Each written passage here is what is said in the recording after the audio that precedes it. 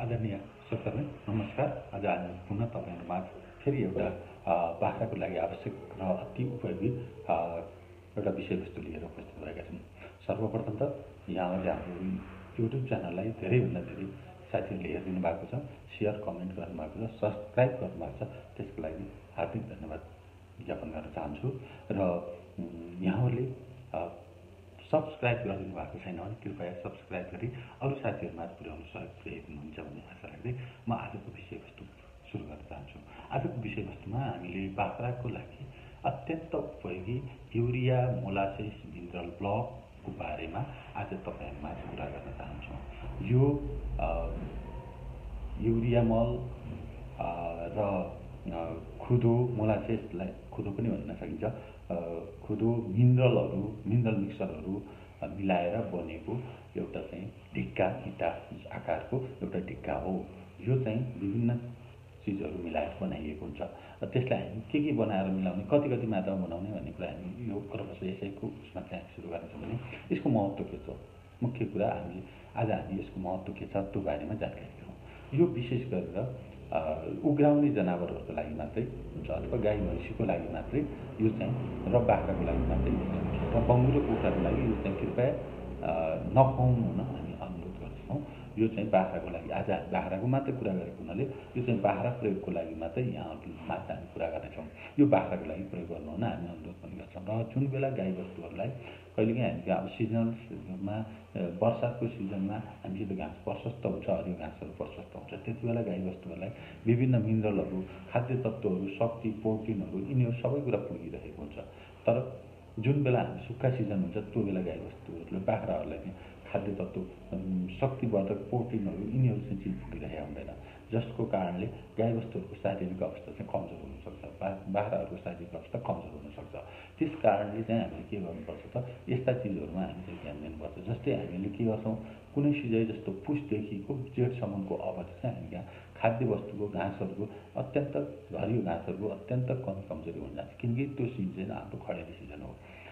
त्यस कारणले हामीले चाहिँ यो कुरामा ध्यान दिँदै त्यति बेला चाहिँ गाईबस्तुको स्वास्थ्यमा कसरी सुधार गर्न सकिन्छ कसरी त्यसलाई चाहिँ राम्रो वृद्धि दर ल्याउन सकिन्छ त्यो बारे चाहिँ हामीले चाहिँ ख्याल गर्नुपर्ने हुन्छ। र यो एउटा अध्ययनले के देखाएको छ भने urea molasses mineral block UMMB पनि भनिन्छ यसलाई छोपेरमा र यो चाहिँ खुवाउँदा खसीहरूमा बाख्राहरूमा एक्काइस प्रतिशतसम्म मासु वृद्धि भएको लुम्लेको एउटा तथ्याङ्कले देखाएको छ। त्यस कारणले हामीले पनि यो कुरामा चाहिँ ध्यान दिएर हामीले चाहिँ आफ्नो बाख्राहरूलाई यो सुक्खा सिजनमा जुन बेला हामी सुक्खा परालहरू मकैको ढोडहरू नलहरू खुवाउँछौँ जसमा चाहिँ एकदमै थोरै खाद्य तत्त्वहरूमा यी यी चिजहरूमा त्यहाँ चाहिँ न्युट्रेनहरू अथवा पोषण तत्त्वहरू अत्यन्त न्यून रहेको हुन्छ जसको काम चाहिँ पेट मात्रै भर्नु हुन्छ। त्यस कारणले हामी यस्तो बेलामा चाहिँ हामीले चाहिँ बाख्राहरूलाई एउटा बाख्रालाई सत्तरी ग्रामका दरले युरिया मोलासिस ब्लक एक दिनमा सत्तरी ग्रामका दरले चटाउन दिन सकिन्छ। यो चाहिँ गाईबस्तुले चाट्दै चाट्दै खान्छ। र यो चाहिँ हामीले घरमै बनाउन सक्छौँ। यो चाहिँ तपाईँहरूले आफ्नो घरमै बनाउन सक्छौँ। यो बनाउनका लागि हामी चाहिँ तपाईँहरूलाई फेरि यो यसै उसकोमा हामी अन्तिममा भन्नेछौँ के के मिसाएर बनाउने भन्छ अन्तिमसम्म यो भिडियो हेर्नु हुन हामी तपाईँहरूलाई विनम्र अनुरोध गर्दछौँ। र यो यो भिडियो जो जसले जहाँबाट जसरी जसरी हेर्दै हुन्छ कृपया जो जो जुन जुन देशबाट हेर्दै हुन्छ तपाईँ आफू जुन देशमा हुनुहुन्छ त्यो देशबाट हुन्छ म यो देशबाट हेर्दैछु भनेर कमेन्टमा लेखिदिनु म हार्दिक अनुरोध गर्दछु र लाइक सेयर कमेन्ट र यसको बेललाई दबाइदिनु हुन तपाईँहरूमा म हार्दिक अनुरोध गर्दछु। र अब रहेको कुरा यो चाहिँ यसले चटाउँदाखेरि के फाइदा हुन्छ त भन्ने कुरामा मुख्य कुरा पेटभित्र रहेका ब्याक्टेरियाहरूलाई यो हामीले खुवाए चटाएको युरिया मोलासिस मिनरल ब्लकको कारणबाट उनीहरूलाई ऊर्जा प्रदान हुन्छ।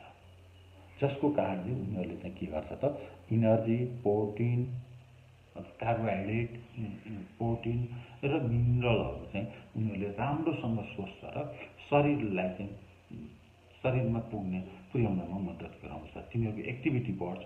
त्यो शरीरभित्र ब्याक्टेरियाको एक्टिभिटी बढेपछि तिनीहरू के हुन्छन् त कर्मश जति सक्रिय हुन्छन् त्यति धेरै त्यो त्यसले चाहिँ त्यो शरीरभित्रको प्राप्त हुने चिजलाई उसले प्राप्त गर्छ र त्यसलाई चाहिँ पचाएर जुन चाहिँ हामीले खुवाएको चिजहरू पचाएर त्यसले चाहिँ शरीरका लागि आवश्यक पर्ने शक्ति र प्रोटिन मिनरलहरू दिने काम गर्दछ।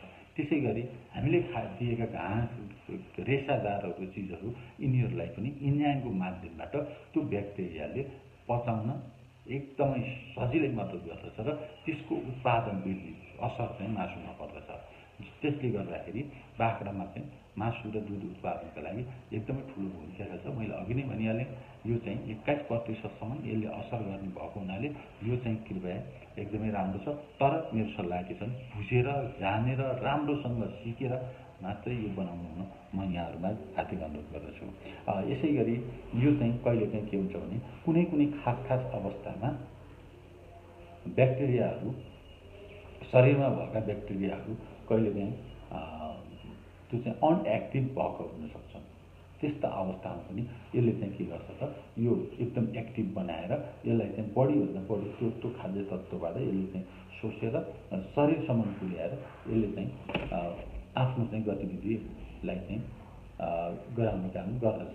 त्यसै गरी अब यसलाई कसरी प्रयोग गर्ने? यो चाहिँ के छ भने श्रोताले यो चाहिँ विशेष गरेर हामीले चाहिँ जुन बेला सुक्खा पदार्थहरू दिन्छौँ सुक्खा पदार्थहरू हुन्छ त्यो बेला नै हामीले प्रयोग गर्ने भएको हुनाले तपाईँहरूले सुक्खा पदार्थ जसमा चाहिँ न्युट्रियन्टको अत्यन्त कमी हुन्छ त्यो बेला तपाईँले चाहिँ के गर्नुपर्छ सके जति न्युट्रियन्ट त्यस्ता त्यस्ता घाँसहरू ढुङ्गो परालहरू यी नलहरू यिनीहरू जसमा चाहिँ कुनै पनि खाद्य तत्त्व हुँदैन। ती त्यस्ता चिजहरू चाहिँ तपाईँले सकेसम्म दिनुहोस् र त्यसको बराबर एक चौथाइ मात्रै हरियो घाँसहरू दिने त्यो बेला चाहिँ। र त्यसै गरी यसलाई चाहिँ दिनको सत्तरी ग्रामको दरले बाख्राहरूलाई मजासित दिनदिनै चाट्न लगाउने। र यो चाहिँ यो खुवाएको बेलामा पानी चाहिँ एकदम ख्याल गर्नुपर्ने हुन्छ। पानी चाहिँ प्रशस्त मात्रामा दिनुपर्ने हुन्छ।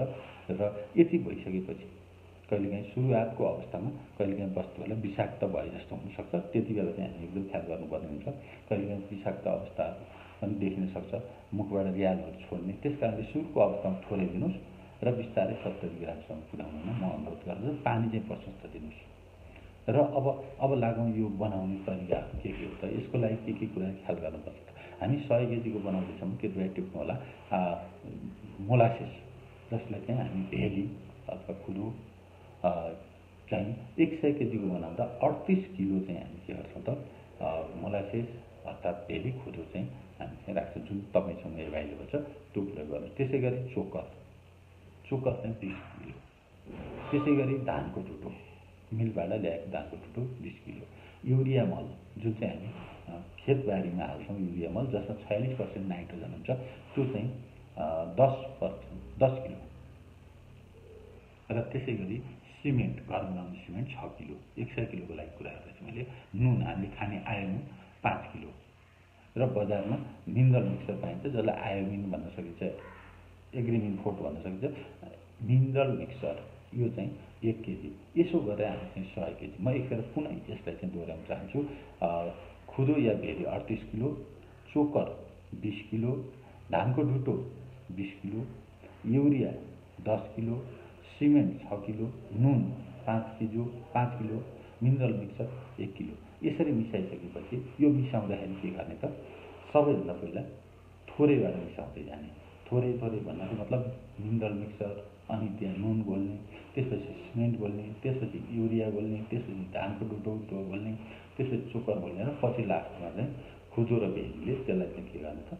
मिक्स गरेर त्यसलाई चाहिँ एउटा एकदेखि डेढ किलोसम्मको एउटा उसमा चाहिँ त्यसलाई फिक्स गरेर त्यसलाई थिचेर एकदम बलियोसँग थिच्ने न अब युरिया मलाई चाहिँ मिनरल ब्लक बनाउने मेसिन पनि छ। अथवा हामीले आफ्नो घरमा जे भाँडा छन् तपाईँहरूले अघिल्लो पटक तपाईँहरूले एउटा भिडियो हेरिसक्नु भएको छ त्यसमा पनि एउटा सानो सानो नानीहरूले बनाएको छ। त्यसरी पनि बनाउनु सक्छ नभए तपाईँ डल्ला डल्ला सत्तरी ग्रामको अनुमान गरेर। सत्तरी ग्रामको कसारको डल्ला जस्तो पनि बनाएर तपाईँहरूले चाहिँ के गर्नु सक्नुहुन्छ त? त्यसलाई चाहिँ एक एक दुई दिन राखेपछि अनि खुवाउनु सक्नु यो बनाउने दिनबाटै खुवाउनु सक्नुहुन्छ। यो चाहिँ घाम नलाग्ने ठाउँमा ओभानो ठाउँमा राख्ने र यो चाहिँ प्रयोग गरिरहने। र यो मेरो अनुरोध के छ भने यो चाहिँ गाई बस्तुले एकैचोटि भेडायो भने एकदम धेरै खान्छ। खुसी पनि हुन्छ र धेरै पनि खान्छ। त्यस कारणले हामीले चाहिँ के गर्नुपर्छ त यो खुवाउँदाखेरि एकदम होसियारीपूर्वक जसलाई जति खुवाउनु पर्ने हो त्यति मात्रै खुवाउनु हुन म हार्दिक यो भिडियो हेरिसकेपछि तपाईँहरूको प्रतिक्रिया के छ? जस्तो लाग्छ त्यस्तै कमेन्ट गरिदिनु होला। र तपाईँ जहाँ हुनुहुन्छ त्यहाँबाट हामीलाई लाइक सब्सक्राइब गरेर सेयर गरिदिनु। पटक्कै नभुल्नु होला भन्दै आगामी दिनमा फेरि तपाईँहरूलाई यस्तै कुनै विषयवस्तु लिएर तपाईँहरूमा उपस्थित हुने छौँ र हामीले भनिरहेका छौँ। हामी अब हरेक दिन एउटा भिडियोहरू राख्नेछौँ। र कहिले हामी किसानको खेतबारीमा कहिले चाहिँ किसानहरूले गरिआएको यो भिडियोहरू राखिन्छ भने कहिले चाहिँ हामी यसै गरी यस्तै खालकाहरू ज्ञानवर्धक काम लाग्ने साना साना तर काम लाग्ने खालका भिडियोहरू तपाईँहरूमा प्रस्तुत गर्नेछौँ। तपाईँहरूले अहिलेसम्म अत्यन्त धेरै मन पराइदिनु भएको छ। आगामी दिनमा पनि यसरी नै हामीले मन पराएर धेरैभन्दा धेरै दर्शक श्रोताहरूले हामीलाई चिज प्रस्तुत गराउन सहयोग गर्नु भएको छ। यसका लागि हार्दिक धन्यवाद दिँदै यहाँहरूको बाख्रा पालन व्यवसायको सफलताको हार्दिक कामना व्यक्त गर्दै हस्त धन्यवाद। Bye bye. फेरि अर्कोचोटि अर्को विषयमा तपाईँहरूमा चाहिँ उपस्थित बाचा गर्दै अहिले बिराउँछु